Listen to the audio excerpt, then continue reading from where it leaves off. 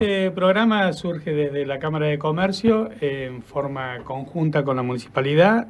Empezamos a, trabajar sobre este proyecto ya desde hace un tiempo. Y bueno, gracias a Dios, el viernes logramos hacer la firma del convenio y ya poner manos a la obra, ponernos a trabajar con este programa que creemos de vital importancia para el emprendedor, que, quiera dar a ese primer gran paso, que muchas veces no nos animamos. Y bueno, eh, con Incunec va a recibir el acompañamiento y la capacitación necesaria para poder desarrollar eh, su proyecto y, bueno, de, tratar de poder hacerlo con éxito y, y, después sentirse acompañado también eh, de parte de de personas em, que los capaciten eh, para poder, eh, como decía antes, desarrollar esa actividad que por ahí eh, solos no se animan. le presentamos la inquietud a la municipalidad, gracias a Dios em, estuvieron desde un primer momento dispuestos a llevar adelante el programa. Así que bueno, con Noelia y Paola, Noelia Motori y Paola Grión, quienes son las que, van a llevar adelante este, este programa, eh, armaron ahí en poco tiempo eh, todo este proyecto y bueno, ya, ya, ya están abiertas las inscripciones para, para poder acceder a, este beneficio y, bueno, eh, darle para adelante con, la iniciativa que, cada emprendedor tenga. ¿Es una capacitación, es un curso, es una, idea de, capacitar? ¿Cuánto tiempo va a durar esto? bueno, cuento yo. Sí, ah, esa es la parte más técnica que te va a contar, que te va a contar Noelia. Eh, así que bueno. Bueno, eh, vamos desde el principio. Dale. ¿Esto destinado para qué tipo de emprendimiento? Va destinado para todo tipo de emprendimientos. Pueden ser que produzcan eh, servicios, que fabriquen algún tipo de producto, que esté relacionado con el agro, que esté relacionado con la industria. No tenemos techo para eso. Y eh, se va a dividir, se divide en tres etapas el programa. En esta primera etapa, que es la que dimos inicio el viernes, es la preincubación, donde tenemos un link de inscripción eh, que después ya se, lo vamos a pasar o lo pueden pedir en el teléfono de la Cámara de Comercio. Luego cerramos la convocatoria el 30 de septiembre, es el cierre de la convocatoria, y luego vamos a tener cuatro encuentros donde vamos a capacitar en general. Todos los que se hayan inscritos tienen que participar de esos cuatro encuentros y después cada uno decidirá si quiere postularse a la incubación o no. Luego de esa capacitación tenemos un día que es el Pitch Day, donde tienen que presentar y validar su proyecto. Eh, de esa presentación vamos a hacer una mesa evaluadora y vamos a quedarnos entre 20 a 25, todavía no hemos definido bien el número, dependerá de qué nos encontremos con la calidad de los proyectos que, se vayan a presentar. Y esos 20 o 25 van a estar en la etapa de la incubación, que ya lo vamos a hacer en el 2023, a partir de marzo de 2023. Eh, ¿Hay alguna exigencia de que sea un emprendimiento con habilitación municipal, emprendimiento hogareño que se usa, que las familias usan como para tener un, dinero extra en la familia? No, en esta primer convocatoria abrimos a todo público. Puede, puede, ser que esté en la cabeza del emprendedor. Ah, bien. Todavía que, sea una idea de negocio y que no sepa cómo llevarla a cabo, también lo vamos a recibir. Puede ser idea de negocio, puede ser que hace un año que esté en proceso, puede ser que haga tres o cuatro años, ¿sí? No hay problema por eso. Una de, la, una de las pautas que leía es que eh, el 80% de los emprendedores termina cerrando su negocio o, terminando su idea porque no le fue bien en menos de dos años. o sea que hay emprendimientos, la, gran mayoría de los emprendimientos no dura más que ese periodo. Exactamente. ¿Qué pasa? Falta, bueno, yo hace bastante que me dedico al emprendedurismo y lo que sí noto que necesita acompañamiento. Por eso te contaba que esto va a constar de tres etapas. Luego de la, segunda etapa de la incubación vamos a abrir una tercera etapa que nos parece fundamental, que es hacer el seguimiento del proyecto. ¿Por qué? Porque el emprendedor, que es lo que veníamos hablando con Ariel, em, está atravesado por el miedo. En el contexto actual en el que vivimos, te da miedo, porque no sabes, eh, estamos trabajando el día a día con una incertidumbre tremenda. Entonces vos no sabes cuánto te va a vender el proveedor mañana, si vos ya compraste y le pasaste a un cliente un presupuesto, que te digo que es el, la, la, pregunta que siempre me hacen, le pasa el presupuesto, pero me quedo corta, ¿cuánto vendo? ¿Cuánto calculo la ganancia? Bueno, todos esos interrogantes eh, nos parece fundamental hacer el acompañamiento. Entonces, después de la incubación, vamos a hacer rondas de negocio, vamos a hacer desayunos creativos, vamos a buscar personas de acá de la zona que nos cuenten, yo siempre le digo a Ariel, lo pongo él de ejemplo, porque él arrancó con una despensa y hoy tiene tres, bueno, ¿cómo lo hiciste? ¿Qué obstáculos se te presentaron y cómo lo solucionaste? ¿Cómo, cómo, ¿Quién te acompañó? ¿Cómo lo pudiste hacer? Y eso lo podemos hacer eh, se trate de lo que se trate el, emprendimiento, lo podemos hacer tranquilamente. Bueno, hoy, por lo que planteas, eh, pero esto atraviesa a todos, a las grandes empresas y al pequeño, al que, al que vende, no sé, eh, pastelitos. esto de los costos de la economía.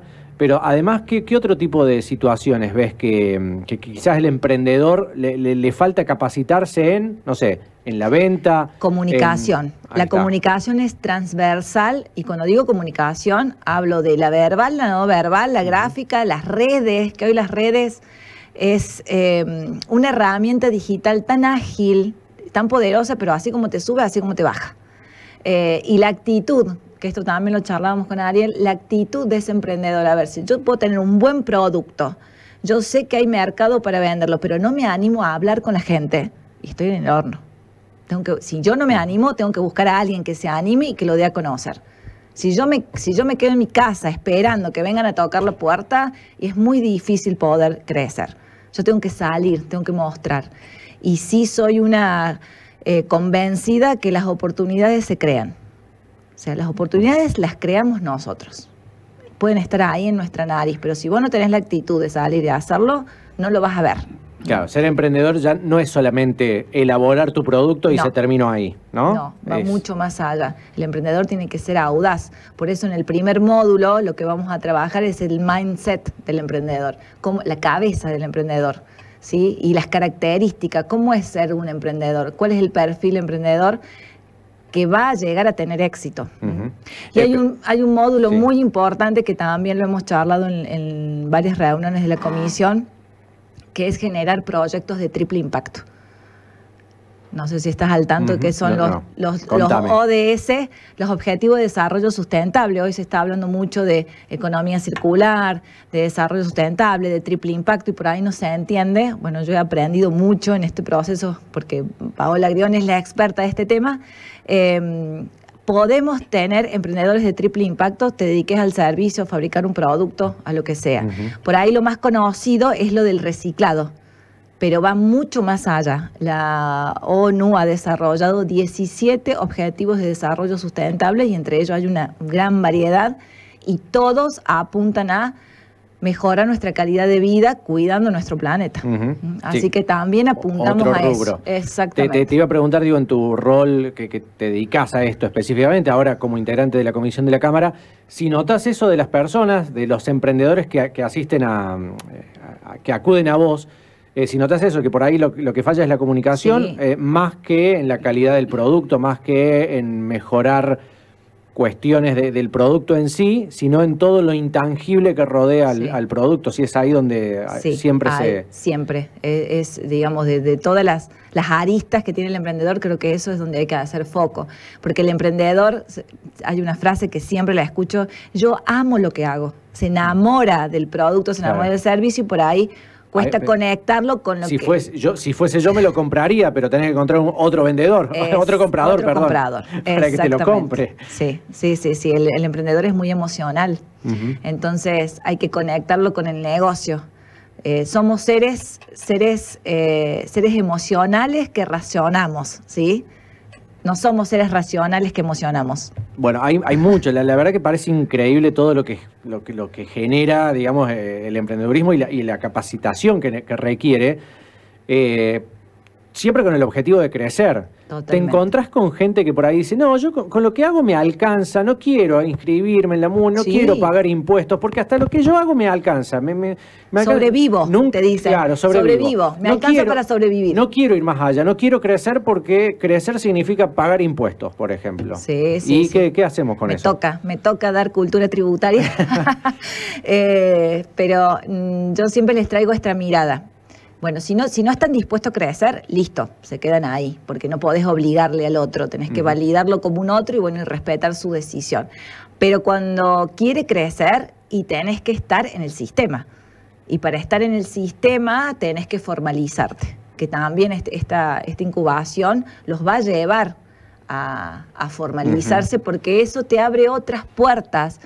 Estar formalizado, puedo tener otro tipo de proveedores, puedo tener otro tipo de clientes, eh, me puedo manejar en otro ámbito, puedo hacer pool de compras con otros eh, emprendedores que trabajan lo mismo que yo. También traemos este que está cambiando el tema de la competencia. Ya no miramos al competidor como que, ay, te voy a matar porque sos mi competencia. No, es co-competencia. Eh, cooperamos, podemos asociarnos y hacer una compra para disminuir nuestros costos. O sea, hay muchas estrategias para trabajar y creo que la tecnología es una aliada nuestra y tenemos muchísimo para crecer. Y nuestra región, por eso también la incubadora es regional, si bien estamos en la colonia, pero lo abrimos a, a todos, este, hay mucho para crecer.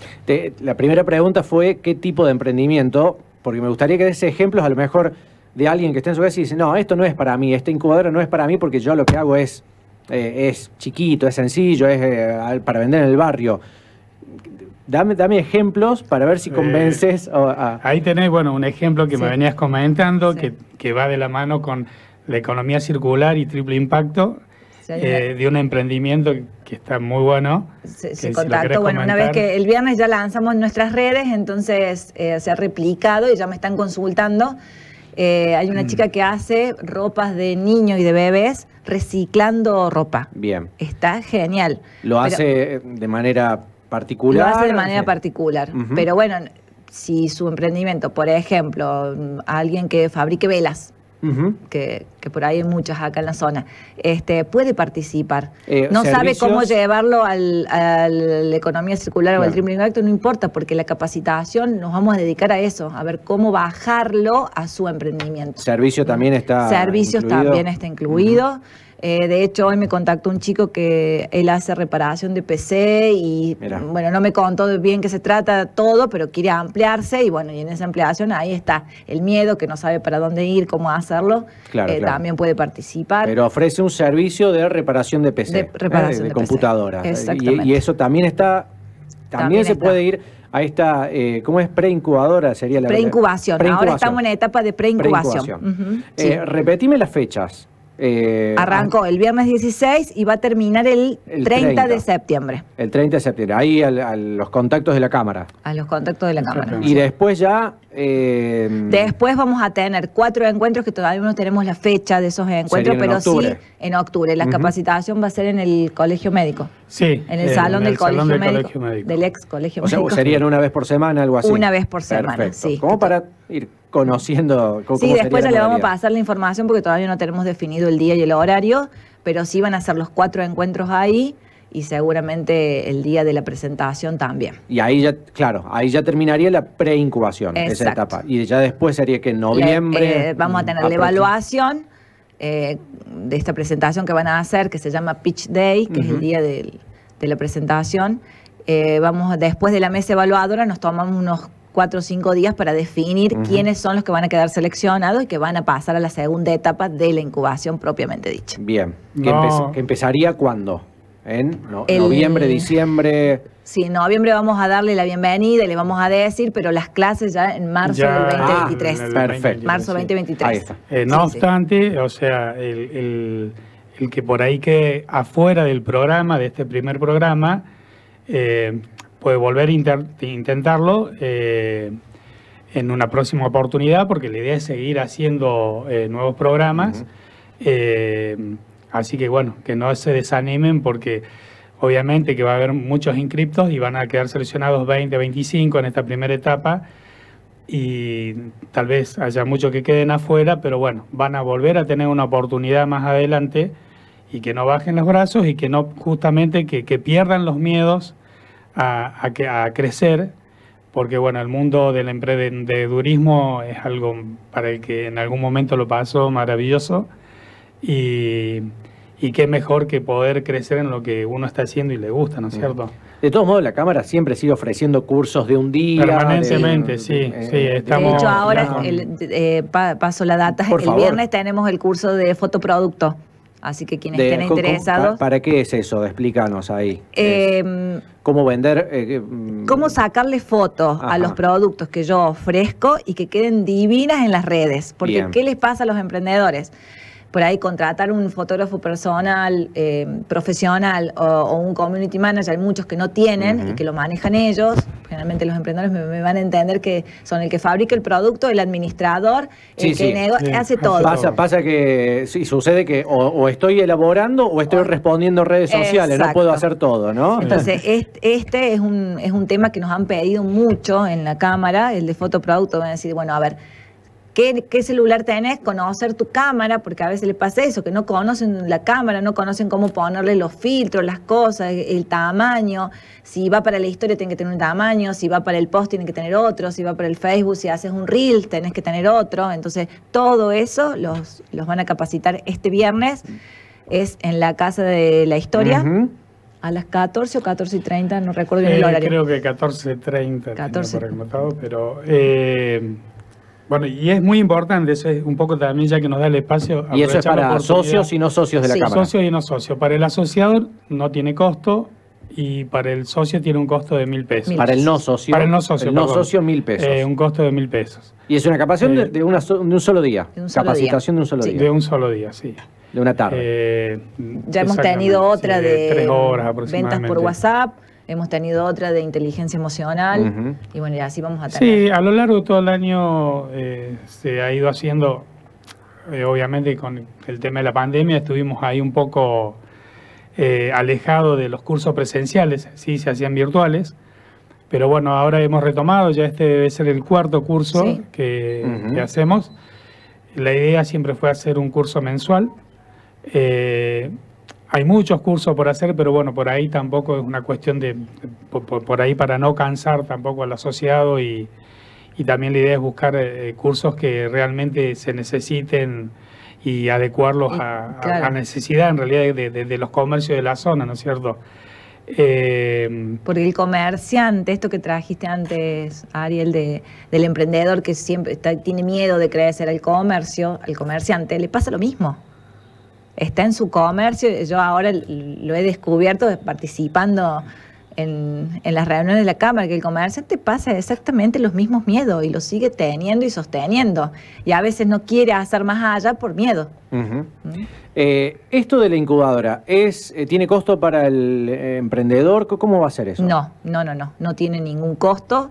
Por eso que el proyecto está en conjunto con el municipio, porque gran parte del financiamiento viene con capitales. Sí, es más, eh, en los, proyectos que eh, sean seleccionados eh, van a también tener una exención en, la tasa comercial municipal. eso también es una gestión que, hemos estado realizando con, con el municipio. falta definir por, por qué tiempo, ¿no es cierto?, cuántos meses, pero es algo que también va a estar. Y obviamente de esta gente va a ser invitada también a, asociarse a, nuestra institución y también vamos a, hacer extensivo eh, esa exención de la cuota los primeros meses, eh, como para, bueno, de cierta forma también colaborar, ayudar, dar una mano económicamente, si bien por ahí la tasa comercial no es algo significativo, pero para un emprendedor eh, por ahí sí. Y una forma de, bueno, invitarlos a que eh, traten de estar dentro del marco legal, que es lo que decía Noelia, que es lo que los va a ayudar a, crecer y le va a abrir un, montón de, puertas nuevas porque van a poder eh, llegar al, comercio, van a poder comercializar sus productos porque justamente van a estar dentro de un marco legal impositivo que se lo va a permitir.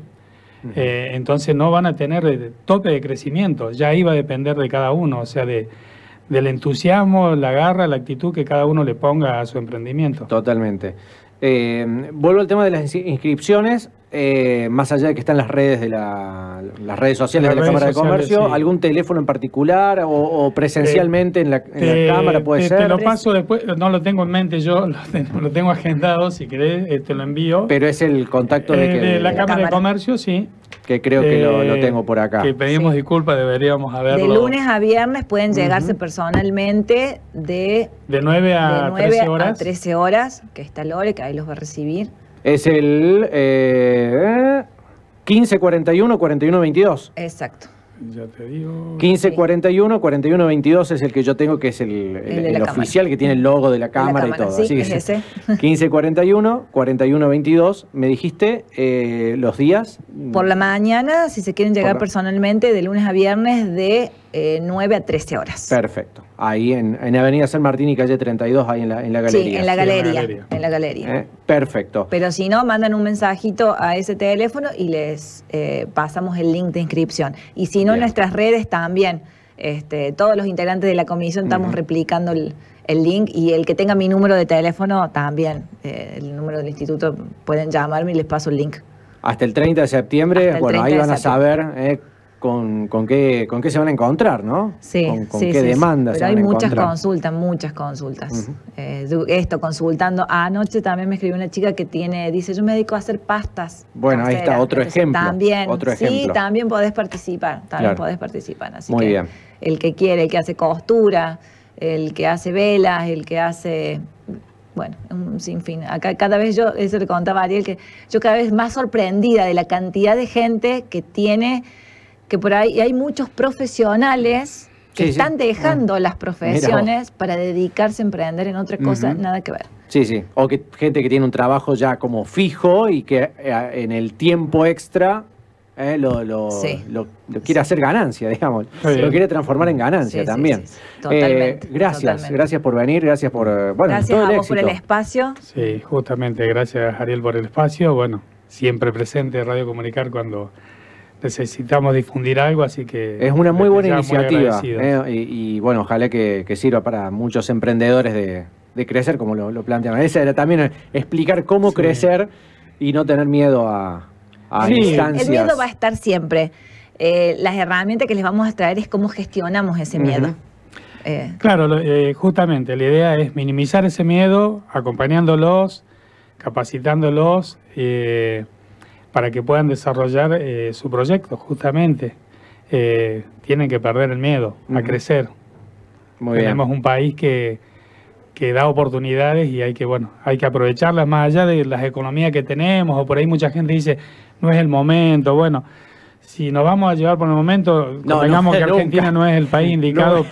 Yo no me acuerdo nunca que tenga. estadísticamente, estadísticamente, en los años de mayor crisis es cuando surgen los mejores emprendimientos. Totalmente. Y yo siempre pienso también de que en un momento económico negativo, el que tiene esa chispa y esa inteligencia para El que crea la sobresalir, oportunidad. le va a ir muchísimo mejor Eh, eh, en, y en un, estos un momentos. claro ejemplo fue la pandemia. Hu- Hubo por ahí comercios que han encontrado una beta donde los ha ayudado a crecer eh, y desarrollarse mucho Sí. más.